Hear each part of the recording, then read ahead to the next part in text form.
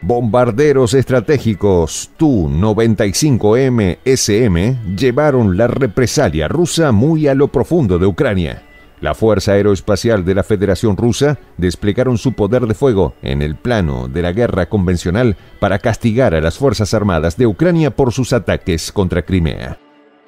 La venganza del poder militar ruso fue ejecutada por varias grandes oleadas de misiles crucero, disparados desde buques y submarinos de la flota del Mar Negro y principalmente por los veteranos bombarderos pesados Tu-95 MSM, los llamados osos nucleares rusos, aparatos diseñados para desatar un infierno atómico sobre los enemigos de Rusia, aunque en esta ocasión solo llevaron armamento dotado con ojivas de tipo convencional.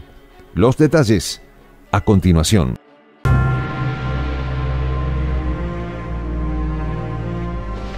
Voz de la Patria Grande.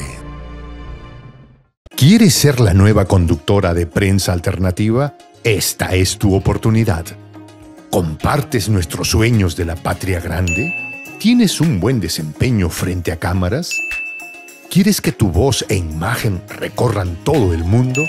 No esperes más comunícate al correo prensa.alternativa.casting.gmail.com Escríbenos y cuéntanos por qué te consideras la persona indicada para protagonizar este histórico momento. Los osos nucleares de Rusia se lanzan al ataque en la guerra con Ucrania. El Kremlin apeló a su aviación militar con capacidades de disuasión estratégica para ejecutar una dura represalia contra sus oponentes ucranianos por los recientes ataques de drones contra la península de Crimea.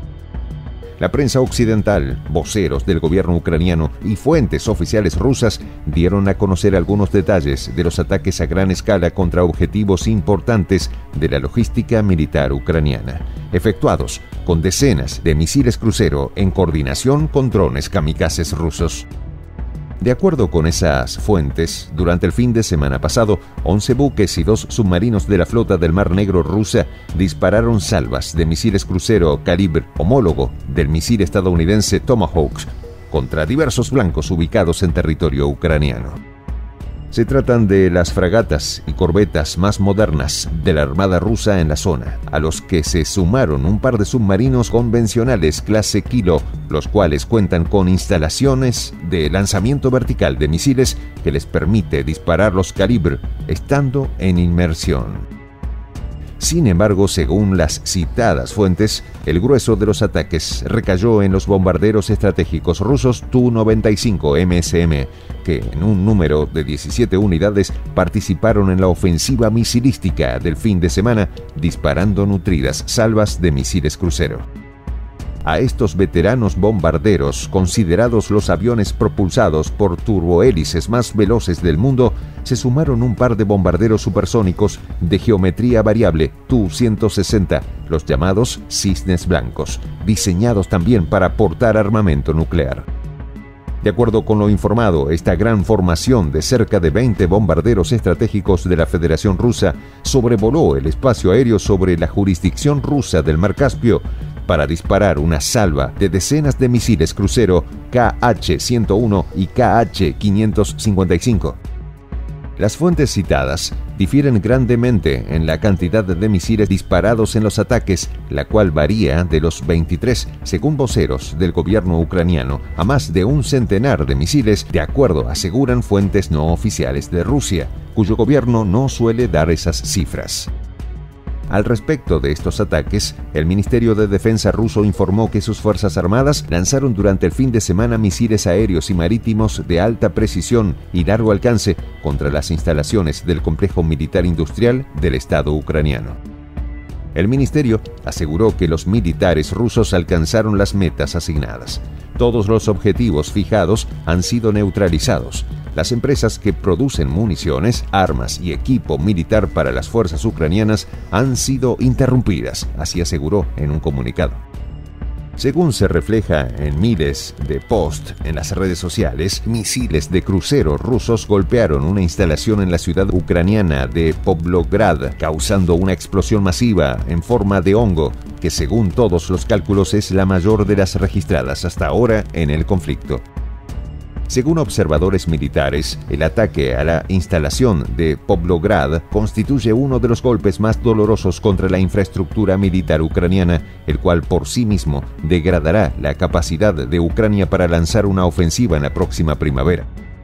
El objetivo alcanzado es una planta industrial utilizada para producir explosivos y sobre todo combustible para misiles y cohetes, lo que justificaría la enorme magnitud de la explosión que se registró, la cual fue seguida de numerosos estallidos y abundantes llamas.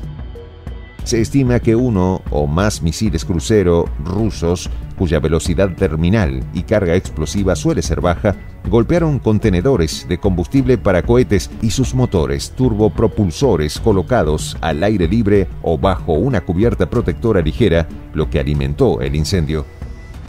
Los explosivos y material incendiario se suelen almacenar en instalaciones subterráneas, a salvo de ataques aéreos. El hecho de que grandes cantidades de motores de cohetes y combustible estuviesen al aire libre es señal de que la carga estaba a punto de ser transportada. Lo anterior indica que los bombarderos Tu-95 atacaron precisamente cuando la vulnerabilidad era mayor, lo que deja muy bien parada a la inteligencia militar rusa que pudo haber combinado agentes de campo infiltrados con drones de reconocimiento o imágenes satelitales.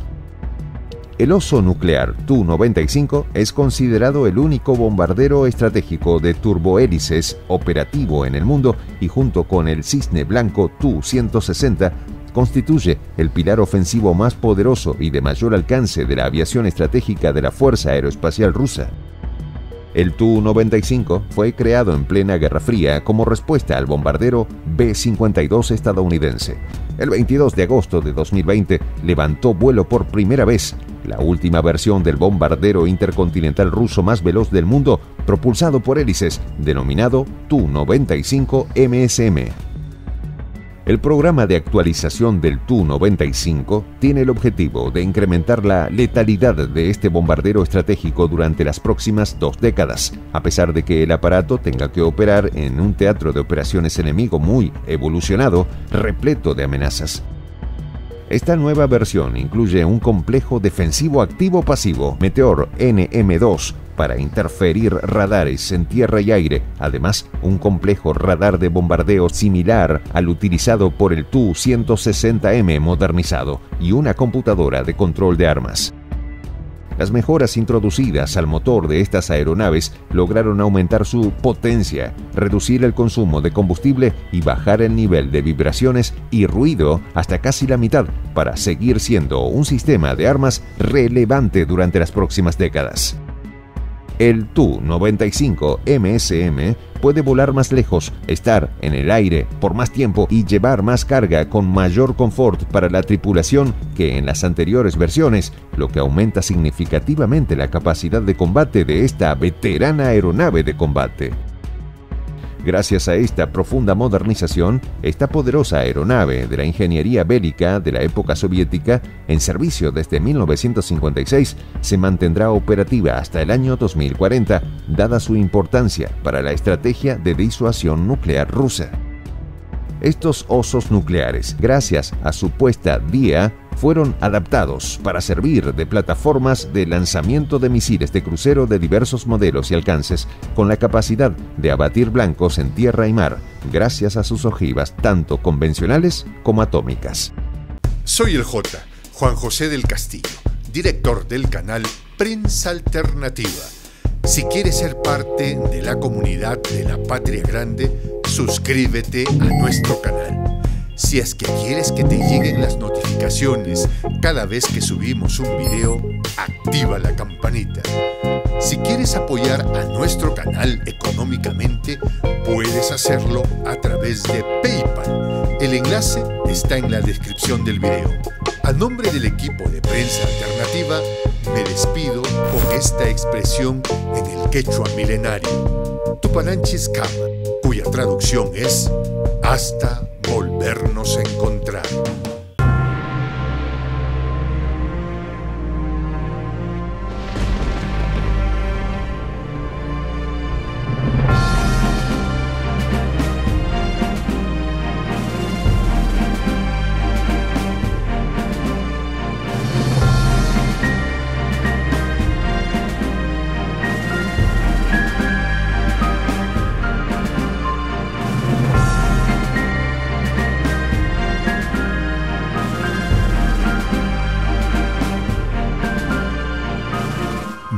De la Patria Grande.